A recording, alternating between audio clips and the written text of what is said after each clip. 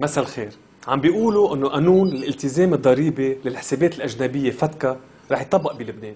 أديب إذا عندي الجنسيه الامريكانيه شو لازم أعمل؟ بخاف ابضل رايق؟ ما بعرف شو. رح اضلك رايق. أكيد. أول شيء لازم نفهم شغلة.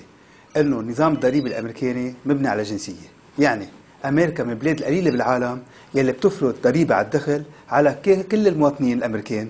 شو ما كان مصدر دخلهم أما شو ما كان محل إقامتهم. كمان بتفرض ضريبة على المقيمين بأمريكا حتى إذا ما عندهم جنسية الأمريكية. وبعكس آه، لبنان اللي بيفرض ضريبة على المداخيل بس إذا كنت بلبنان. مزبوط. من هيك أمريكا عم تحسن جبايه الضرائب من قبل المواطنين الامريكان أما المقيمين بأمريكا يلي عم يستثمروا خارج أمريكا وما عم يصرحوا على مداخيلهم لصالح مصلحة الضريبة الأمريكية. يعني ال IRS مزبوط. ومن هيك FATCA بيفرض على المصارف.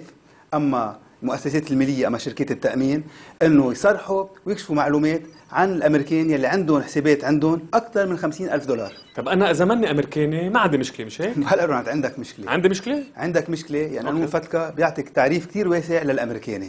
الأمريكاني هو أول شيء اللي بيحمل الجنسية الأمريكية.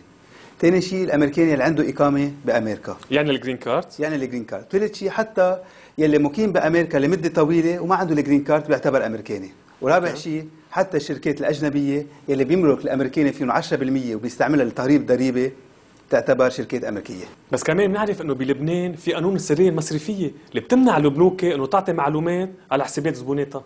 إذا ما صار في قانون يعدل السرية المصرفية كل بنك وحده لازم يمضي اتفاقية تعاون مع ال IRS بموجبها بيتعهد إفشاء عن كافة المعلومات عن المواطنين الامريكانيين يلي عنده.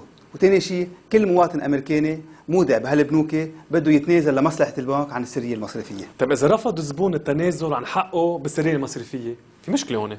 هلا في يرفض حقه يرفض. آه، أوكي. بس البنك بيتعهد يسكر له حساباته وبيعتبر زبون غير ممتثل وبيخضع لضريبة 30% مقتطعة على الدخل من مصدر أمريكاني يعني على أنصبة الأرباح وعلى الفوائد من مصدر أمريكاني. طب إذا هالبنوك رفضت تتعاون مع السلطات الضريبية الأمريكانية هون كارثة. مش كارثة بس لازم تسكر حسابات كل المودعين يلي عندهم جنسية أمريكية وبيمنع عليها تتعاطى مع الأسواق الأمريكية أما مع المصارف الأمريكية وكمان بتخضع لضريبة مقتطعة 30% على الدخل من مصدر امريكاني وبالنتيجة رح يكون قانون فتكا عنده أثر كتير كبير على التحويلات اللي عم يتلقاها لبنان من قبل المغتربين اللبنانيين بأمريكا لأنه في قسم كتير كبير رح يعود دفعه لل IRS باعتباره منشأ هالتحويلات أمريكانية.